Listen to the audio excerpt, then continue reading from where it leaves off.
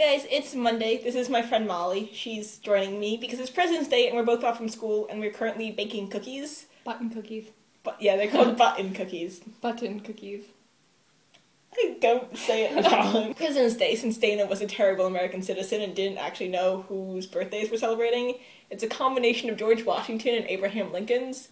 Because George Washington's is tomorrow and Abraham Lincoln's was like two days ago, two weeks ago. Larissa, you're we, we are definitely in sync. The John Green quote is I love that one. I want it to be like on my bedroom wall. And we actually have English essays a lot like yours did. Um, because our common essays are stupid and weird and don't allow us to have sources or anything on it. Only with like one of the English teachers our school does book rights where you have the book and then you write about the rest of them are just sort of like do a project for it or answer these questions on your book. It's just basically to prove that you've read the book. Yeah. Also, the Wizard Rock show you went to, I know you mentioned your video and then you posted pictures of it on Facebook. I am so ridiculously jealous. There's a picture of Alex Carpenter biting her hat because she wore the wolf hat. Can I live in California? With Yeah, you, let- Larissa? Because the tour to Nerd Nerdfighteria went there. Yes. It's like Should I go to that too? stupid Midwest. I don't know. And it's cold. And they too. have In and Out Burger. Well, you don't eat burgers. so Well, yeah, but like still, like I want the opportunity. Alex, you asked what we were giving up for Lent. I don't give things up for Lent because I'm a horrible Catholic. Do you know what she's giving up for Lent? She's giving Lent up. I'm going to have to use that. so I think I have confirmation in like a week or two. Do you know what I'm giving up for Lent? Nothing. I'm Methodist. Alex, we're also talking about Pancake Day. You should totally make pancakes on Pancake Day. I've actually requested that my mother let me have pancakes on Pancake Day. Let me. Shut up, Oven. Pancake Day is actually called either Fat Tuesday or Mardi Gras here in the United States. Because mo- we're fat. Most people get drunk on it, and since I'm not old enough to drink, don't really do anything for it. Sam, I'm sorry your Wi-Fi's broken.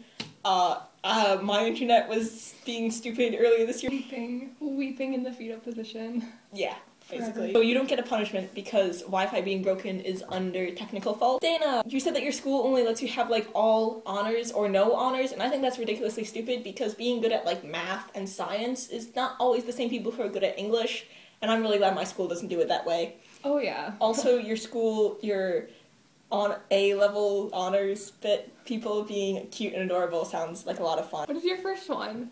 I, I skip around. I thought you said President's Day already. I did. All hunger sounds stupid.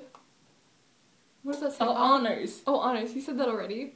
Yeah. Yeah. So the next one. Well, I hadn't finished that thought. Okay, go ahead. Small school. You haven't talked about small schools yet. Her honor, because they're A level honors people. Yeah. And because there's They're it's such a- cute. yeah, it was adorable.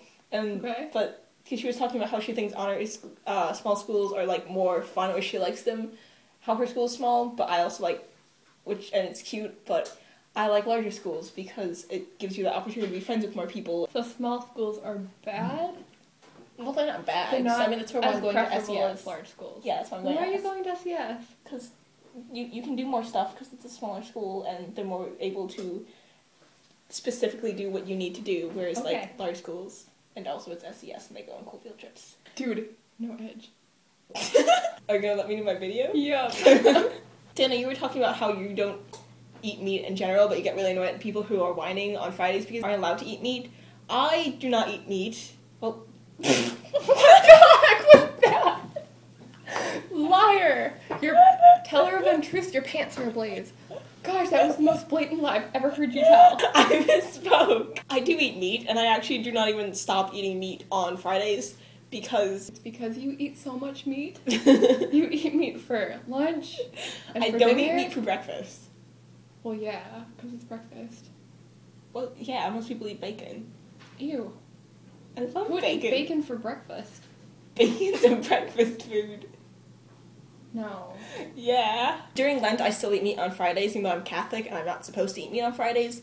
Um, mostly because I just like meat, and when I did eat school lunches, all the good school lunches were meat ones, and also the history behind it. Originally, it was you could you could not eat meat on any Fridays, and that was actually because in like I think it was the 13th century, or might have been the 16th. I don't know. And then a bunch of fishermen went to like the Vatican and be like, "Well, we're not getting enough money. Can you make people eat fish more?" And they're like, "Okay." So they mandated that you couldn't eat like meat on Fridays, and then that's why they have to eat. That way, they have to eat fish on Fridays to basically increase the fishermen's for uh, money making because then they would donate more to the diocese. So it's economic, not Yeah. religious. Larissa, I actually really like talking to you because Alex's video was late and because of technology issues. So I was, uh, it was sort of nice getting to talk to a new person for once. Um, not that I, that sounds like I just like you, Alex. I'm sorry. Go go ahead and offend everyone. just Take the whole Marissa, beaver. Alex, Sam, Dana, just consider yourself offended. You're laughing at me as I dig my grave, aren't you? You're a horrible person. yep, and that's why you love me. Alex, well, I I missed your videos. I think it was it was nice to talk to Larissa for once.